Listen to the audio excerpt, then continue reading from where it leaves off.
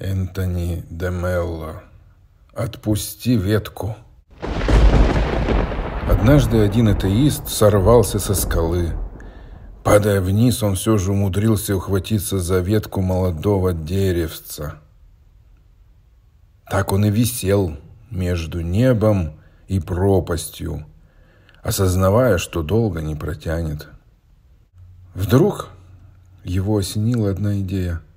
«Господи!» — закричал он, что из силы. Тишина. Никто не ответил ему. «Господи!» — закричал он опять. «Если ты есть на земле, спаси меня! Клянусь, я буду верить в тебя! Я буду стараться передать свою веру другим людям!»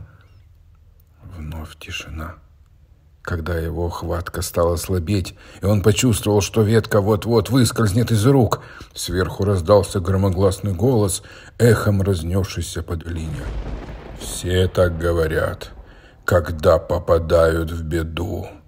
«Нет, Господи, нет!» — взмолился ободренный надеждой бедняга. «Я не такой, как все. Я уже начал верить в Тебя. Разве не видишь, я уже слышу Твой голос. Только спаси меня, и я буду почитать Твое имя до моих последних дней».